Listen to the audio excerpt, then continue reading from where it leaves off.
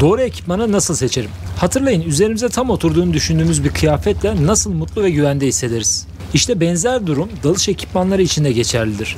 İlk dalışlarınızı dalış merkezlerindeki standart kıyafet ve maske paletlerle gerçekleştirirsiniz.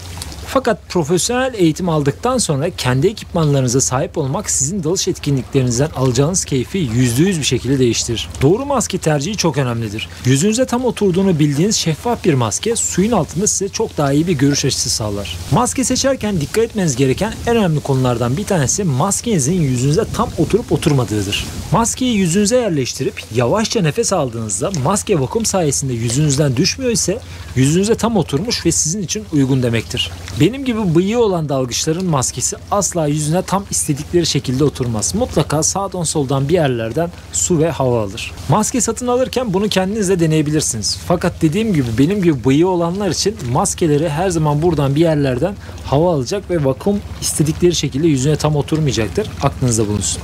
Eğer numaralı gözlük kullanıyorsanız maskenizi satın alırken satış mağazalarından camlarınızın numaralı bir şekilde yaptırılmasını rica edebilirsiniz. Yeni aldığınız maskenizin iç camında üretimden kaynaklı ve kimyasal katman bulunur. Bu katmanı kaldırmak için biz ilk önce camın içerisini yakarız. Daha sonra diş macunu sürüp yavaşça ovalarız. Bunu her dalış öncesi yapmak maskenizin bir süre sonra buhar yapmasını önler ve sizin dalışlardan önce acaba masken buhar yapar mı tedirginliğini yaşamamanızı sağlar. Maskenin yanındaki şnorkeli de unutmamak lazım. Doğru bir şnorkel su yüzeyinde yüzerken veya akıntılı bir bölgeden dalış yapacağınız başka bir bölgeye doğru ilerlerken tüpünüzün içerisindeki havayı bitirmeden rahat bir şekilde ilerlemenizi sağlar. Şnorkel aslında bir ucunda maps yani ağızlık dediğimiz kısmın olduğu önünde ve üst tarafında nefes alabileceğiniz ve içerisine giren suyu tahliye edebileceğiniz boşluğun bulunduğu bir borudur. Şnorkeller sağ omzunuzun üzerinden regülatör geldiği için maske tutucu bir aparat ile maskenizin sol tarafına bağlanır. Yani sizin solunuzda olacak şekilde bağlanır. Çünkü sağ taraftan regülatör gelir. Regülatörü çıkarttığınız zaman sol taraftan rahat bir şekilde şnorkeli takabilirsiniz. Maske ve şnorkeller de her dalış ve deniz ekipmanında olduğu gibi dalış sonrasında tatlı su ile güzelce yıkanmalıdır. İlk dalış esnasında genelde hafif ve kolay giyilebilir olduğu için kapalı paletler kullanırız. Fakat eğitim aldıktan sonra açık paletlerin daha ağır ama yine de daha kullanışlı olduğunu öğrenirsiniz. Bir patik ile giyilen açık palet sizin suyun altında çok daha az efor harcayarak daha ileri bir mesafeyi hızlı bir şekilde kat etmenizi sağlar. Kapalı paletler daha sıcak sularda ayaklarınızı kapatma ihtiyacınızın olmadığı birkaç defa yapacağınız dalışlar için daha uygunken açık paletler daha akıntılı ve soğuk sularda daha sık yapacağınız dalışlar için uygundur. Açık palet tercih etmenizle birlikte ayağınıza bir ayakkabı gibi giyebileceğiniz patiğin desteğiyle birlikte dalış ekipmanınızı karada çok daha rahat taşıyabilir. Kum ve taşlık gibi ayağınızı rahatsız edebilecek bölgelerde konforunuzu koruyarak ilerleyebilirsiniz. Elbise ve ağırlık giymek zorunda mıyım? Dalış elbiseleri bizlerin suyun altında üşümesini, taşlardan vücudumuzun kesilmesine ve çizilmesini önler. Genel olarak en çok kullanılan dalış elbisesi tipi ıslak elbiselerdir. Suyun ısı iletiminin havaya oranla 20 kat daha fazla olduğunu söylemiştik. İşte bu elbiseler vücut ısımızı suya karışmasını önleyen ekipmanlardır. Dalış elbiseleri kuru, ıslak ve yarı ıslak olmak üzere çeşitli modellerde ve şekillerdedir. Çok sıcak sularda bile ısı yalıtımı ve suyun altında daha uzun süre vakit geçirmek amacıyla dalış elbisesini kullanırız. Neopren kumaşın kalınlığı genelde 3 mm, 5 mm ve 7 mm olmak üzere 3 tane çeşitliliğe sahiptir. Kalın neopren çok sıcak tutar fakat suyun altında hareket kabiliyetimizi çok ciddi bir şekilde sınırlar. Tek parçadan oluşan ve fermuarı az olan dalış kıyafetleri parça parça birleşen kıyafetlere oranla sizi çok daha sıcak tutar ve ısınızı korur. Islak elbiselerde içinize su girer ve mutlaka ıslanırsınız. Fakat kalın neopren suyu vücudunuz ile neopren arasında tutarak ısınızın dışarıya daha yavaş bir şekilde geçmesini sağlar. Kuru elbiselerde hava, kıyafetiniz ve kuru elbise arasında kalır. Böylece üşümeniz daha fazla engellenmiş olur. Kuru elbiseyle dalış yapmak ıslak elbiseye göre kendince kullanım farklılıkları gerektirir. Dalış elbisenizi seçerken en çok dalış yapacağınız bölgeye göre seçmek size avantaj sağlar. Fakat bu gibi durumlarda birkaç tane dalış elbisesine ihtiyaç duyabilirsiniz tabii. Soğuk suda dalış yapmak aslında çok keyifli ve genelde iyi görüşte beraberinde getirir. Dalıştan keyif almamızı engelleyen şey aslında soğuk su değildir, üşümektir. Yani üşümenin önüne geçebilirsek keyif almaya devam edebiliriz. Bu yüzden doğru ekipmanı seçmek, nerede dalış yapacağımızı bilmek bizim için önemli. Doğru elbiseye sahip olduğunuz sürece en soğuk sularda bile keyifli vakit geçirebilirsiniz. Su altında ısı her derinlikte ve her bölgede sabit değildir. Genellikle derinlik arttıkça ısı da düşer. Isı değişimine göre su altında çeşitli sıcaklık tabakaları oluşur. Su altında normal bir şekilde ilerlerken aniden değişen sıcaklığın nedeni bu suyun altındaki tabakalardan kaynaklanır. Bu yüzden elbise seçerken sadece yüzeyin sıcaklığı değil, dalınacak bölgedeki derinliğin sıcaklığı da hesaba katılmalıdır.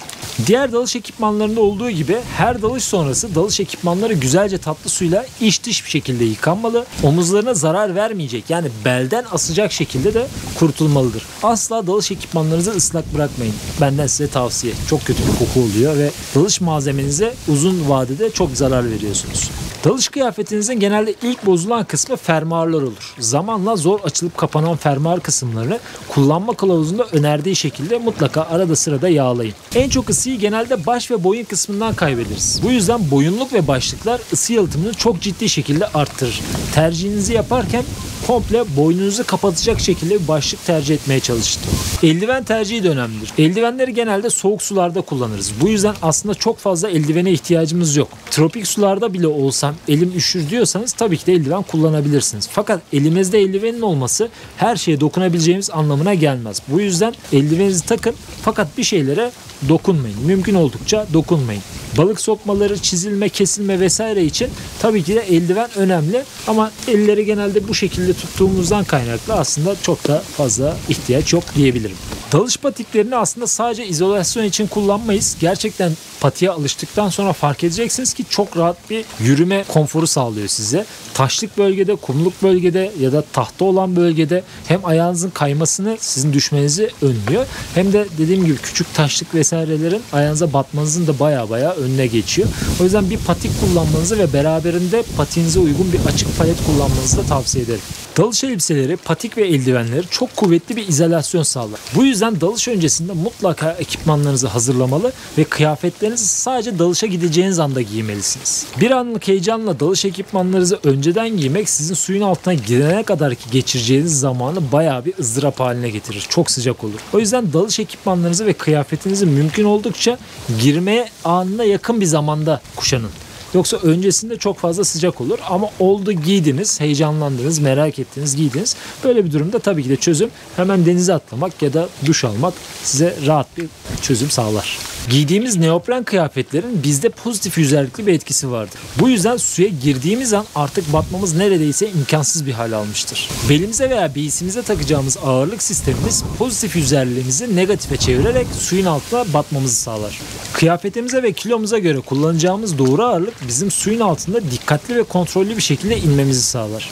Bir taşın kontrolsüz bir şekilde suya batması gibi suyun altına batmak biz dalgıçların asla istemeyeceği bir şeydir. Ağırlıkların acil bir durumda üzerimizden suya bırakılabilecek bir şekilde üzerimize giymiş olmamız çok önemlidir. Denge ile üzerine veya bele takılan kemerlerden hangisini seçersek seçelim. Önceliğimiz ne kadar ağırlığa ihtiyacımız olduğu ve kolay bir şekilde çıkartılabilmesi olmalıdır. Ağırlıkların üzerimize tam oturması ve kullanımı oldukça dikkat gerektiren bir iştir. Vücudumuza doğru oturmayan bir kemer suyun altında belimizden çıkmasına veya karada kemerinden çıkan bir ağırlığın ayağımıza düşmesine neden olabilir. Bakımı ve temizlemesi kolay olsa da kullanırken mutlaka daha dikkatli olmamız gerekir. Kuruyan dalış malzemelerinizi en az kullandığınızı en alta koyacak şekilde dalış çantanıza yerleştirebilirsiniz. Böylece herhangi bir eşyaya ihtiyacınız olduğunda çok daha rahat bir şekilde bulabilirsiniz. Dalış çantalarınızı seçerken genelde normalden biraz daha büyük seçmeye çalışın. Dalış çantası dolmaz diye düşünmeyin. Mutlaka dalış çantanız dolar ve birazcık yer olması her zaman sizin için avantaj sağlar. Dalış aksesuarları nelerdir? Bir dalış bıçağı her zaman ihtiyacınız olan bir ekipman değildir. Belki tek bir defa ihtiyacınız olacak ama işte o an yanınızda olması sizin hayatınızı kurtaracak. Balıkçı ağları, kopan olta takımları, halatlar gibi denizde başıboş dolaşan nesneler ekipmanınıza veya size dolanabilir. İşte böyle bir durumda yanınızda bıçağınızın olması sizin için çok önemlidir. Dalış bıçaklarını kullanırken dikkatli olmalı, her dalış sonrası tatlı suyla yıkamalı ve bakımlarını iyi yapmalısınız. Dalış saati ve bilgisayarları ise bizim suyun altında kalma süremizi planlayan en önemli ekipmanlardır. Suyun altında istediğimiz derinlikte istediğimiz süreye kadar kalma şansına sahip değiliz. Bu yüzden tüplü dalış saatleri en iyi planlayıcı rehberimiz olur. Birçok dalış saati ve bilgisayarı suya temas eder etmez aktif bir hale gelir ve tüm dalış süremizi kayıt altına alır. Dekompresyon tablosundaki kuralları aştığımız zamanlarda bu saatler bize ne zaman çıkmamız gerektiği ve ne kadar bekleme yapmamız gerektiğini haber eder. Bazı saatler su altından hızlı çıktığımız anlarda uyarı vererek yavaşlamamız gerektiğini bize hatırlatır.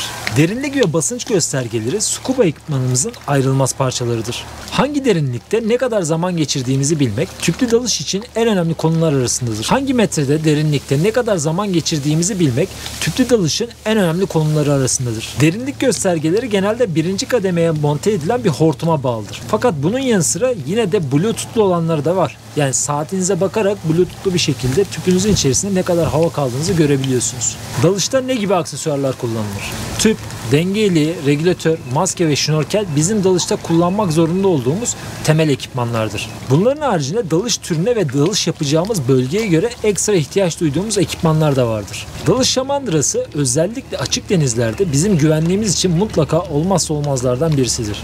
Dalış şamandıraları genelde turuncu renktedir ve üzerinde teknelerin dikkatini çekmek için bölgeden geçmemelerinin uyarısını yapan uluslararası bir dalış bayrağı vardır. Dalış şamandıraları modellerine göre özellikleri de değişkenlik gösterir. Yüzey şamandıraların dikkat çekici özelliğinin yanı sıra acil durumlarda dinlenmenizi sağlamak, ilk yardım, iletişim vesaire gibi ihtiyaçlarınızı karşılamak için çanta bölmesi olan özellikleri de bulunur. Sabit dalış şamandıraları dalış sonrası bize dönülecek yer belirlerken bizimle birlikte hareket eden yukarıda dolaşan dalış şamandıraları üzerimizden bir teknenin geçmesini veya üzerimize çapa atılmasının önüne geçer. Bir yerde sabit bırakılacak şamandıralarda bir ağırlık veya çapa kullanılırken hareket halinde taşıdığımız şamandıralar için bir mekik kullanmak bizim için daha mantıklıdır.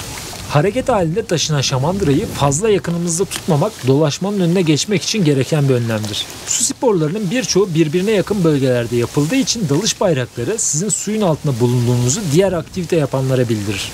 Şamandıra üzerinde dalgalandıracağınız iki tip bayrak vardır. Bunlardan biri mavi beyaz iken diğeri kırmızı beyazdır. Bölgede ve teknede dalış yapıldığını haberini veren bu bayraklar bazen işe yaramayabilir. Çünkü bazı acemi tekneciler bu bayrakları ilk defa görmüş veya fark etmemiş olabilir. Siz bu gibi durumları da her zaman göz önünde bulundurarak olası bir tekne motoru sesinde su altında kalmaya devam edin. Ve teknenin yönünü belirleyerek ilk önce kendinizi güvenli bir noktaya pozisyon alın.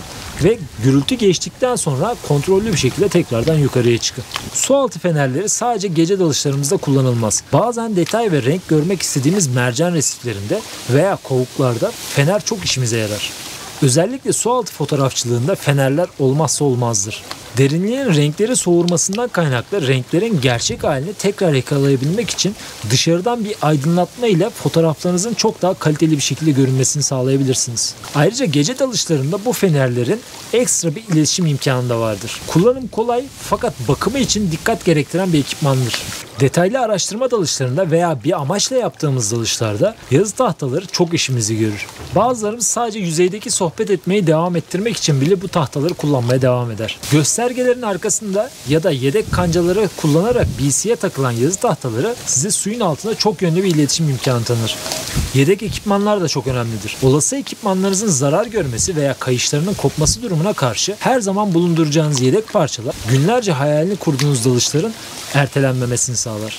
Bazen küçük bir malzeme sizin hayatınızı kurtarır, bazen de dalışınızı çok daha keyifli bir hale getirir. Bu yüzden küçük bir yedek malzeme çantasını dalış çantanızın bir bölümünde sürekli olarak güncel tutmak akıllıca bir davranıştır. Yedek çantanızın içerisinde o-ringler, maske ve palet kayışları, yapıştırıcı, diş macunu ya da buğu önleyici, o-ring sökücü, pense, tornavida gibi bir sürü ekipman bulundurabilirsiniz.